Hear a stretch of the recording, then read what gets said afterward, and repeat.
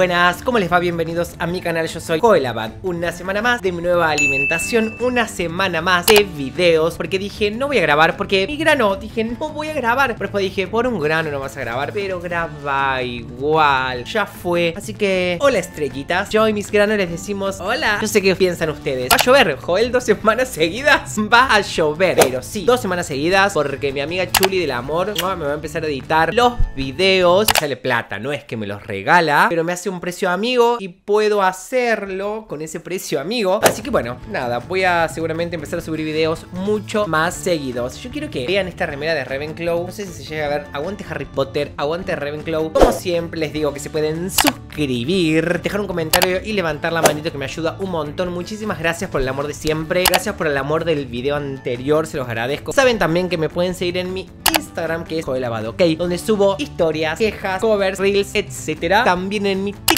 Que es Joelavado, ¿ok? Pero antes, antes de seguir con el video y con todo esto, saben que tienen que poner un stop, una pausa y hacerse su Joel Moment de la semana. En mi caso, de verde de frutos rojos de Twinks. Esta marca es la más rica de todos los tés del mundo. La traje en Estados Unidos y no las empecé a tomar hace como dos años tienen esos tés. Y dije, Joel, no seas rata. Acá en Argentina rata es como una persona que no quiere gastar. Así que tómate el tecito, tómate el tecito y disfrútalo. Así que eso estoy haciendo con mi taza de Navidad de Starbucks, que es hermosa. Esta taza tiene como 10 años, en realidad, porque ya no vienen más a Argentina, por lo menos, este tipo de tazas con piquito. Son la gloria. Y aparte yo puedo gesticular y todo y no se me cae, ¿entiendes? Starbucks, no me estás pagando, pero podrías pagarme. Podrías traer algunas así como de contrabando a Argentina y mandármelas a mi casa. No me enojo. Hashtag contratame Starbucks, contratame. Gracias por entender con respecto a lo que yo dije, esto de cómo piden las cosas. Todos entendieron cómo lo estaba queriendo decir y que lo quise decir bien, que lo que me molestaba eran las formas. Así que muchas gracias por aceptarme como soy, por dejarme que yo pueda ser libre, opinar lo que pienso, lo que creo y que no lo tomen a mal. Así que muchísimas, muchísimas gracias por eso, en serio. Yo creo que todos deberíamos ser así, todos deberíamos poder expresarnos y decir las cosas que creemos o que pensamos y no por tener miedo de lo que pueden llegar a opinar, callarnos. Hagan eso en su vida que está buenísimo. ¿Qué repercusión tuvo el video de Amor Ordinario? Creo que está bueno esto que me dicen de que les gusta ver lo que yo hago por el hecho de que analizo las cosas y las pienso y las digo y no es solamente una reacción y ya. Y es lo que a mí me gusta hacer, ir viendo las cosas y sorprenderme, y gritar y moverme y hablar encima de Dana. Es lo que soy yo en la vida diaria, o sea, si ustedes me conocieran verían que soy realmente así. Creo que eso es lo que le aporto de diferencia, así que también gracias por no quejarse y entender por qué hago así las reacciones. Medio desordenadas, pero bueno, es lo que hay en este cuerpito. Son ese tipo de, reacciones. Vamos a hacer el día de hoy. El día de hoy voy a reaccionar al amor ordinario pero en vivo. Me dijeron que estaba excelente y me dijeron quiero que reacciones a eso. Y yo obviamente que los escucho y me da intriga. Como me encantó tanto la canción, o sea, la amé. O sea, realmente me parece una de las canciones más... ¿Cómo es esta palabra? Ah, no me sale. Me parece una de las canciones más maduras de Dana. No paré de escucharla desde que hice la reacción, tipo todos los días en Spotify. Vamos a reaccionar ahora a lo que es ella en vivo, sin autotune. Nada, así con la vocecita que, que ella tanto entrenó. Esto es algo que también es importante. Yo a mis alumnos les digo mucho. A ver, tenemos el talento natural, que es la gente que nace con ese talento. Que bueno, por ahí no tiene que estudiar tanto porque ya lo tiene. Que sí por ahí tiene que obviamente adquirir técnica para no hacerse miércoles. Ni la garganta, ni el cuerpo. Y está la gente que no, que entrena. Dana no cantaba así, por ejemplo, en Atrévete a Soñar. Claramente. Pero ella estudió, estudió, estudió, estudió. Logró esa voz que nos enamoró en Wicked. Que nos siguió enamorando después en su música. Ahí vemos la importancia de estudiar. De que no todo es, bueno, chau, metió la chanta y nada más. No, hay que estudiar, hay que entrenarse para lo que sea, sea artístico o sea de otra cosa. Siempre, mientras uno más estudie, mejor va a estar. Así que vamos a ver qué sucede. Ay, qué linda se vela. El. Qué lindo el humo de atrás. Déjame repetir. Qué lindo eso. Mm,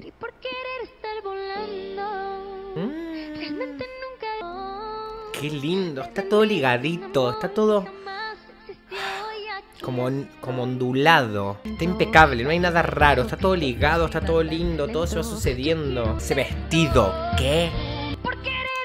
Ay, cuando hace esos rollings, amo, fuerte. Ay, el vestido se mueve con, con viento. Ay, el violín y el cello, qué lindo. Mm.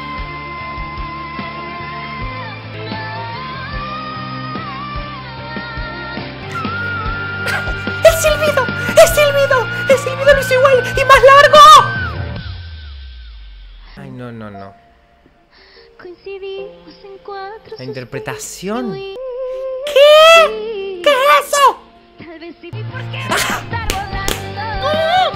Realmente no te amo.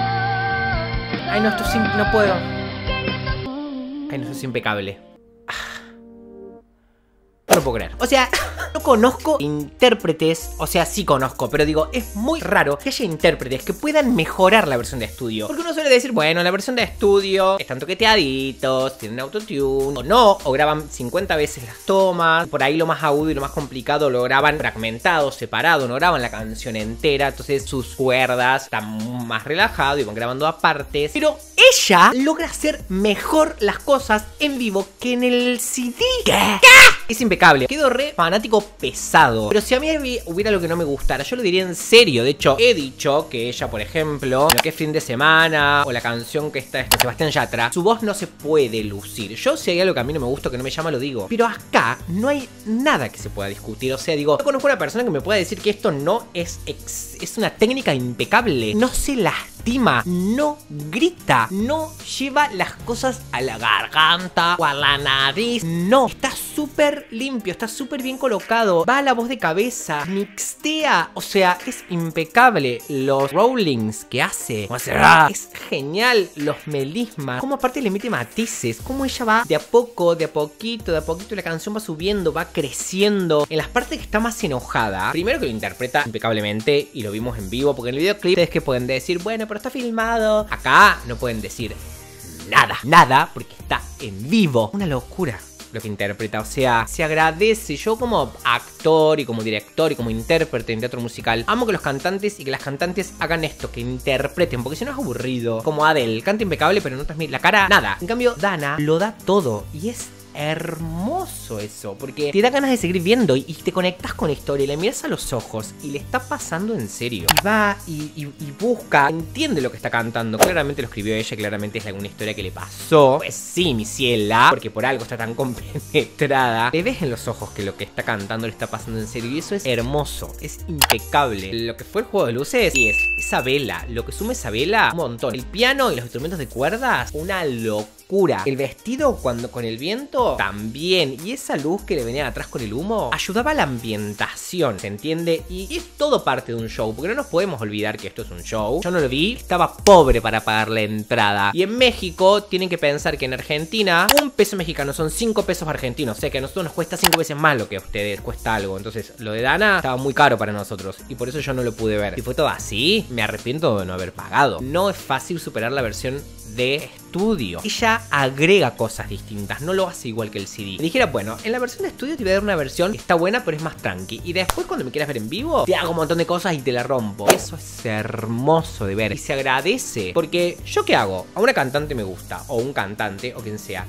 Pago y para verla en vivo, y que la rompa como en el CD. O más. Y eso es lo que ella está logrando. Creo que se está posicionando como una de las mejores cantantes de Latinoamérica. Y sí, lo voy a decir, me arriesgo y sí, no me importa lo que me digan. Para mí es una de las mejores voces de Latinoamérica de los últimos años. O sea, digo, es una locura. Y cómo sus canciones y sus CDs van mutando y se van convirtiendo como en algo más maduro. Obviamente también ella va creciendo, va viviendo otras experiencias. Y eso va haciendo que sus letras tengan otro sentido, que los videoclips tengan otro sentido, que ella también esté como mucho más como metida, ¿no? En la parte de producción y todo, como ella estuvo, dijo que en este CD ella estuvo presente en todo. Creo que dije todo. Creo que no tengo mucho más para decir. Todo lo que diga va a ser como redundante, va a ser positivo y va a ser lindo. Si me olvido de algo, les pido perdón. Realmente yo que hago esto, hago arte, cuando veo que una persona realmente también hace arte, le importa en serio el producto y lo que está mostrando, y le da con todo y lo hace bien, es difícil poder explicar lo que me genera a mí. A mí no me hace feliz solamente hacerlo, a mí me hace muy feliz